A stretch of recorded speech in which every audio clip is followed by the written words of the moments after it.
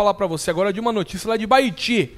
Dá uma olhada aí no que, que a Polícia Militar recuperou, gente, para você que acompanha aqui o nosso programa. Todos os detalhes para você na tela do programa Tribuna NPTV. Olha só, gente. Olha só, gente. Preste bem atenção. No último dia 27, na verdade, de junho, policiais militares realizaram diligências acerca de um furto ocorrido no último domingo em um estabelecimento comercial na cidade de Baiti. Por volta das 18 horas, com informações recebidas pela agência local de inteligência, abordou-se a residência de um suspeito de 24 anos no Jardim Califórnia, que confessou a autoria do furto, assim como indicou os dois comparsas.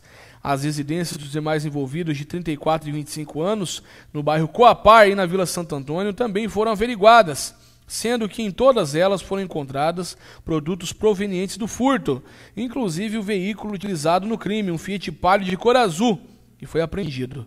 Dessa forma, os envolvidos responderão pelo crime de furto qualificado e os produtos recuperados serão restituídos aí ao proprietário.